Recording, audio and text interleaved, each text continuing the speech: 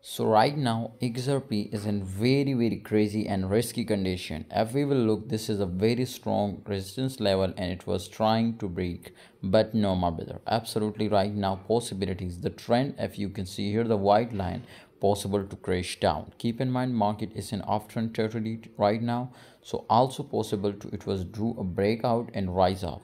Let's see i will tell you in this video to what is next price target but if you want future trading signal my brothers join my telegram group. Link is in the description. You will get daily 10 to 15 signals.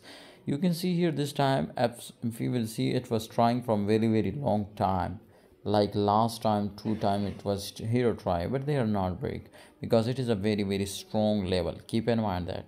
So very hard to break but if it was break definitely you will be see a crazy pump and XRP will be pumps off to 0.7227 right now absolutely possible to big crash because if we will see like last two time you can see here small crash but it again big crash. But again it was returned if they are touch this level then possible to they or break down more and maybe they are again try and fail but they are not touched. So therefore that's mean they are volume is here so i think possible to they rise up and they will give you a big breakout.